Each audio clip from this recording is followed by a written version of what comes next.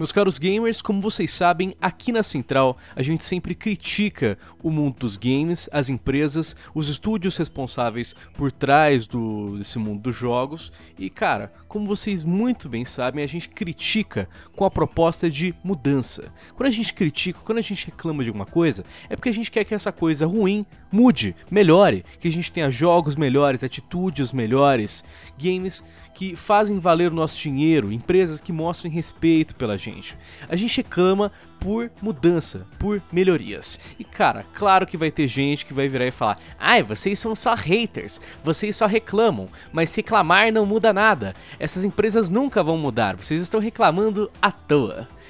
E meus caros gamers, olha, se a notícia de hoje não for mais uma prova de que essas pessoas estão erradas e que sim, nós reclamarmos traz mudança sim, eu não sei o que vai convencer vocês. Galera, quem fala com vocês é o Lion Central e hoje eu tenho uma notícia incrível, maravilhosa, que sim, devido aos nossos protestos, boicotes e reclamações recentes, sim, a Blizzard arregou e cancelou um novo evento do Overwatch. Galera, isso mostra o poder do mundo dos games, de você como gamer e como a sua voz tem sim relevância. Então, cara, a gente tem que reclamar mesmo para você ver. Os caras estão assustados só pela maneira que a gente está se posicionando. Então, galera, a gente tem que se reunir, tem que compartilhar essas notícias e compartilhe então este vídeo para seus amigos para eles ficarem cientes do que está acontecendo, beleza? Vamos passar para vocês todas as informações para vocês ficarem cientes do que aconteceu, mas antes de você entender essa situação, fica um aviso. Este vídeo é um oferecimento de Raid Shadow Legends, o novo jogo mobile RPG que promete mudar o seu conceito sobre jogos de celular grátis. Raid é um RPG mobile totalmente gratuito que traz gráficos absurdos, uma campanha interessante, batalhas PVP e centenas de campeões para você colecionar e customizar como quiser. Além dos gráficos sensacionais, das batalhas táticas e de muita customização, você ainda vai poder testar o antecipado novo modo Guerra de Facções e o novo programa de recompensas. Então entre diariamente e receba prêmios dentro do jogo. Quase 10 milhões já baixaram e 300 mil já deram nota 5 estrelas. Portanto, vá para a descrição do vídeo, clique no link especial e receba agora mesmo 50 mil pratas e um campeão épico totalmente grátis como parte do programa Novo Jogador para iniciar a sua jornada. Aviso dado, eu também convido você agora a se inscrever aqui na Central, clicar no sininho de notificações, assim você não perde nenhum dos nossos uploads diários, beleza? A gente posta dois vídeos por dia, um ao meio-dia, outro às sete da noite, então clica no sininho para não perder nenhuma notificação, beleza? Pois bem, galera, como vocês muito bem provavelmente já sabem, a gente tem um momento em que a Blizzard Entertainment, a grande né, empresa responsável por muitos jogos como Overwatch, Diablo, World of Warcraft, StarCraft, Hearthstone, essa que já foi uma das empresas mais respeitadas do mundo dos games, agora tem um verdadeiro declínio, né? Tá indo para uma lixeira, né? Porque ela se envolveu em um verdadeiro escândalo internacional. A gente já cobriu isso na Central com diversos vídeos, então assim, se você tivesse é, curioso para saber todos os detalhes do que aconteceu, assista este vídeo da Central recente, porque todos estão boicotando a Blizzard. Assista ele, lá a gente passa um tempo discutindo e explicando tudo o que aconteceu com essa situação recente da empresa, mas cara, para encurtar, só um resumo básico, basicamente a Blizzard foi e baniu um jogador de Hearthstone profissional ele que tinha ganhado um evento num campeonato de Hearthstone, ele ganhou a partida, ganhou o evento, foi para uma entrevista e durante a entrevista, ele que é um morador de Hong Kong, ele foi lá e falou no meio da entrevista pedindo a liberdade de Hong Kong, pedindo, pedindo a libertação de Hong Kong. O que aconteceu é que a China, né, nesse exato momento, está tentando passar uma lei de extradição em Hong Kong, permitindo que a China possa trazer qualquer pessoa de Hong Kong para o seu país. E como vocês sabem, a China é um país que censura os seus cidadãos. Ou seja, essa lei de extradição vai fazer com que Hong Kong seja censurada. Isso aqui é basicamente uma maneira de você tirar a liberdade de expressão de Hong Kong. E é por isso que está tendo tantos protestos em Hong Kong.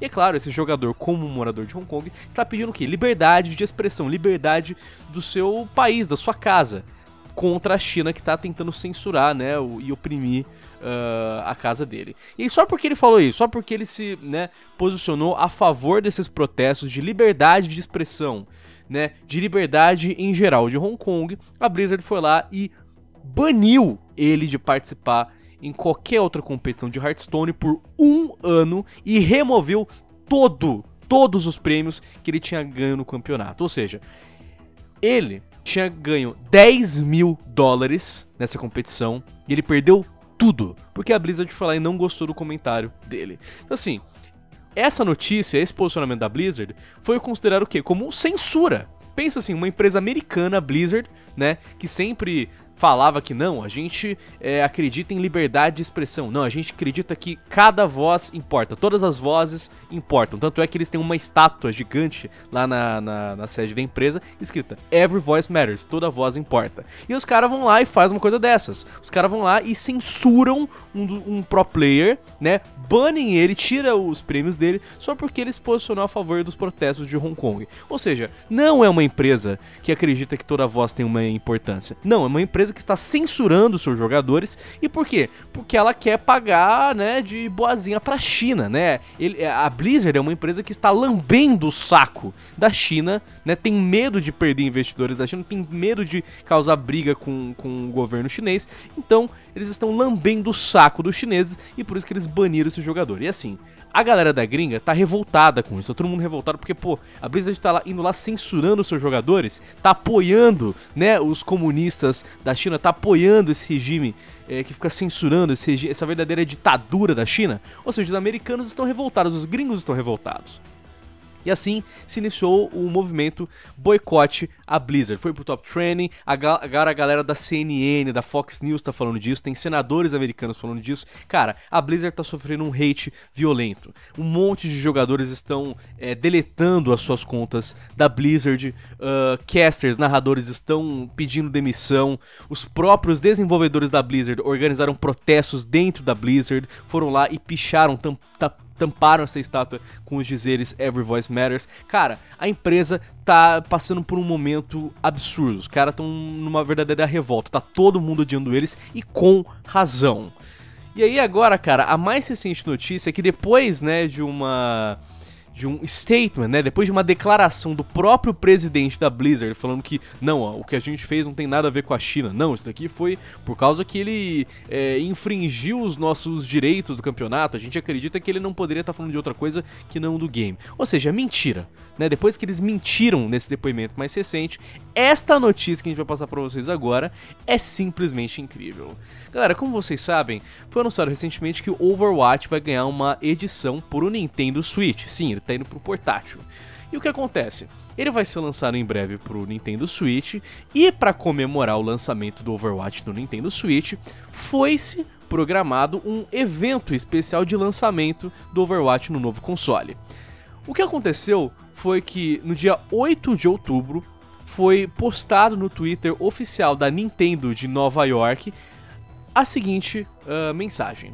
Reúna sua equipe e vá para a hashtag Nintendo New York City na quarta-feira, dia 16 do 10, das 4h30 às 5h30, se você não tiver reserva, e das 5h30 às 7 horas, se você tiver uma reserva necessária, para o evento de lançamento da Blizzard, comemorando o hashtag Overwatch Legendary Edition lançado no Nintendo Switch. Os primeiros 150 fãs a se inscreverem conhecerão dubladores do Overwatch das 5h30 às 7 horas. A inscrição começa na quarta-feira, dia 9 do 9, às 12 horas EDT. Apresente seu Warpipe Pass no horário reservado à chegada. É necessário ter uma conta Nintendo para fazer uma reserva. Ou seja, os caras foram lá e marcaram um grande evento em Nova York para poder comemorar o lançamento do Overwatch. Cara, ia ter dublador do Overwatch. Ia ser um, um, evento super legal em que os fãs vão poder ir lá e conhecer dubladores do jogo, cara. Olha só que legal, que interessante essa maneira, né, de você. Uh, basicamente fazer um marketing né, do lançamento do seu jogo em uma nova plataforma. Muito legal, muito interessante. Só que o que acontece? Isso começou no dia 8 de outubro de 8 de outubro pra cá, explodiu absurdamente essa bomba da Blizzard banindo o pro player. Então o que acontece? Desde que explodiu essa bomba do jogador profissional, todo mundo tá indo nas redes sociais da Blizzard em qualquer jogo para protestar, em fórum, Reddit, Twitter, Facebook, YouTube e também sobrou para os seus jogos, né? Então a galera de Hearthstone tá indo protestar, a galera de Diablo tá indo protestar e a galera de Overwatch também tá protestando.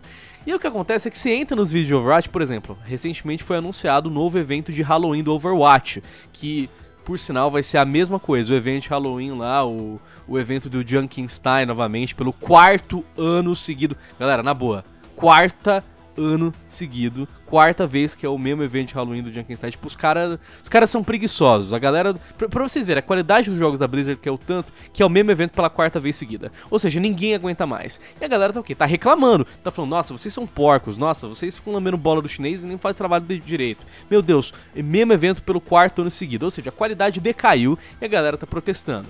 E aí, no meio de toda essa situação, né? no meio de toda a situação em que a Blizzard está sendo criticada pelo seu posicionamento, por ter banido, por ter censurado o Overwatch com o mesmo evento pelo quarto ano seguido, sem trazer nenhuma novidade. Nenhuma novidade. O que, que a Blizzard resolve fazer? Hã?